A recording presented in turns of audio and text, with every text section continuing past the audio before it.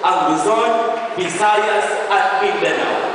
Sa pagdiriwang ika-apat-abot at walong anibersaryo ng Immaculate Heart of Mary Academy sa tema Building Nation Through Faith, Culture and Quality. Dito, may ipapadaman natin ang tunay nating pagka-Pilipino sa pamamagitan ng ating mga sayaw. Halina't tapayin natin ang bawat rehiyon at tuklasin ang kasulatan, mga saya, at talento. Mula sa